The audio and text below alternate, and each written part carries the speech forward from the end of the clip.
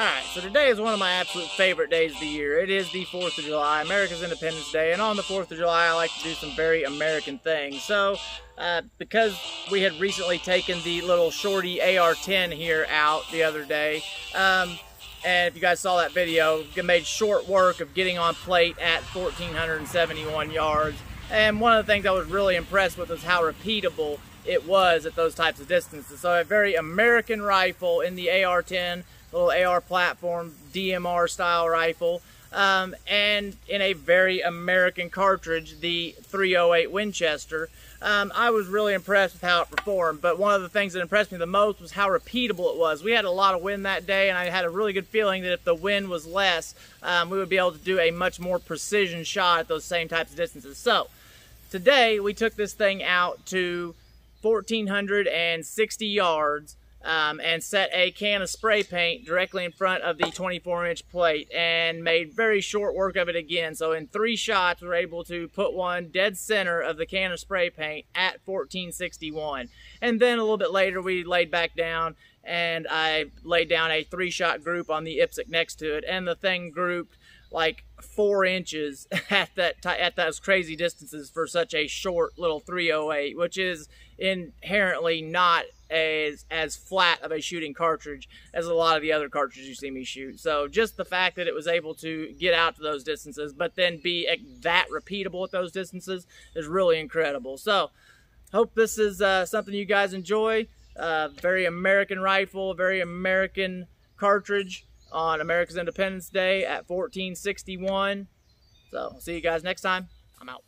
Okay, so we got the Shorty AR-10 downrange at 1,460 yards. I got the 24 inch plate.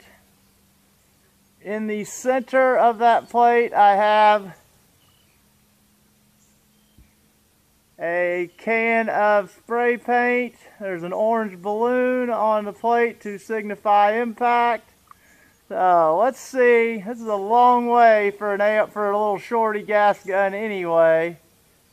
Let's see if not only can we get on, we can't knock this thing out here.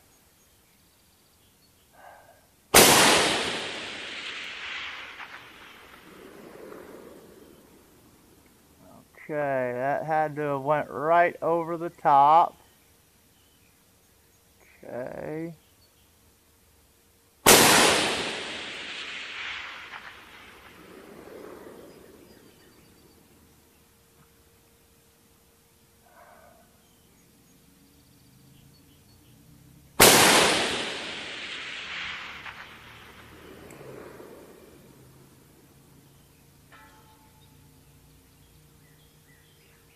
Three shots at 1450 with a little 18 inch AR-10 smashing a can of spray paint.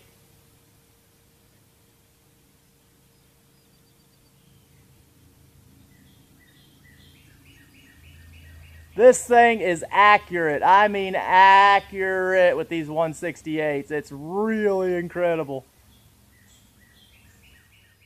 All right, so third round impact. So I saw the first one, saw some grass move back there, so I knew I was over the top. Second one, I saw a little bit of dust underneath, and the third one, I cut the distance and or cut the uh, two elevations in half and dropped it right in the center, right where this was hanging, and it could not have been much more of a center impact. So right in the center of the label, there's the entrance there's the exit. So like pretty much a dead center shot.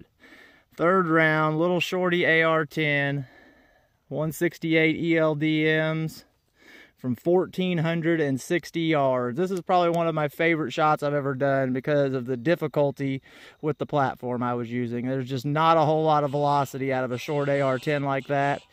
And uh, this thing is extremely accurate and extremely consistent even out here at distance could not be happier with it.